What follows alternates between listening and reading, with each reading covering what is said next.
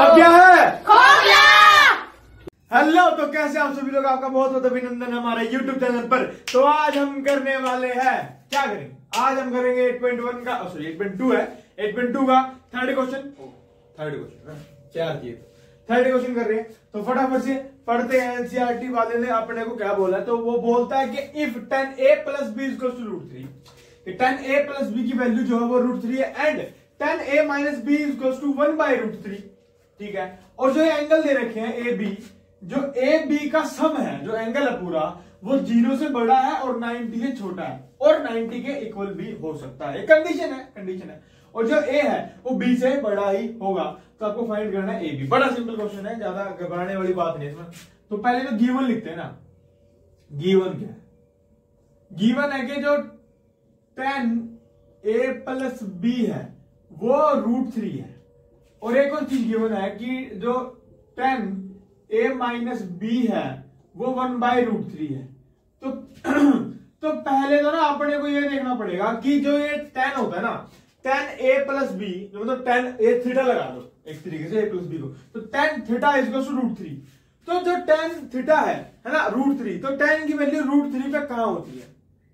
हाँ, ये ये जानना पड़ेगा। तो उसके लिए एक चार्ट देना पड़ेगा। तो एडिटर चार्ट लगाओ। लगा दिया।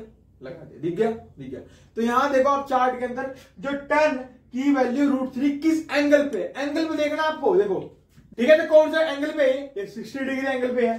तो बड़ा सिंपल हो गया। तो जो ये एंगल एंगल तो यही है ना हमारा ए प्लस बी तो ए प्लस बी कितना हो गया? सिक्सटी डिग्री है ना? बड़ा सिंपल है। अब उस सेकंड के लिए बात कर लेते हैं। अब एंगल जो है, किसके लिए है वो? वन बाय रूट थ्री तो चार्ट के अंदर देखो, बताओ वन बाय रूट थ्री किस एंगल पे दिख गया। किस एंगल पे? थर्टी डिग्री हाँ।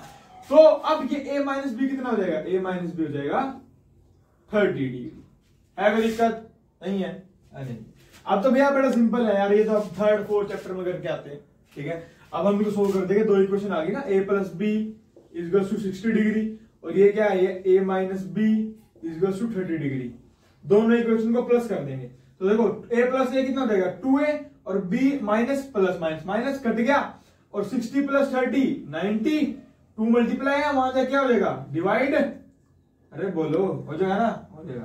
अरे फाइव लिख दिया। भाई टू था यहाँ टू ना? टू था। सॉरी तो टू ये फोर्टी फाइव तो जो ए एंगल आ रहा है, ठीक है, वो आ रहा है फोर्टी फाइव ठीक है? आगे बात समझ, ठीक है। अब ए आ चुका है। अब ए आ गया है तो आपको बी निकालना है। बी निकालने के लिए आप इसमें पुट कर दो वैल्यू या इसमें पुट कर दो। मर्ज़ी आपकी है, ठीक है। तो लेट कर ले लेट कर लेते इसको फ़र्स्ट और इसको सेकंड तो फ़र्स्ट सेकंड क्यों किया है? क्योंकि लिखना है। अभी लिखना पड़ेगा ना। लिखने का पड़ेगा कि put in equation first first में इसको पुट कर देंगे या आप सेकंड में पुट कर लो, मर्ज़ी आपके दोनों से वैल्यू जो आंसर है सेम ही आएगी बी की। तो मैं फ़र्स्ट में पुट करता हूँ। तो ए प्लस बी ना ए कितना है? ए है forty five plus B is to sixty degree ठीक है? आई बात समझ। आ गई तो अब ये प्लस का फोर्टी फाइव मान जाके माइनस का फोर्टी फाइव तो बी कितना आ गया? अरे बोलो। बी कितना आ गया? फिफ्टीन ठीक है? है कोई दिक्कत? नहीं। समझ आ गया। तो लो ये ए बी हमने निकाल लिया। समझ गया? समझ गया तो खैर स्क्रीनशॉट ले लो अच्छा आप लोग ठीक है भाई? मर्ज़ी आपकी है।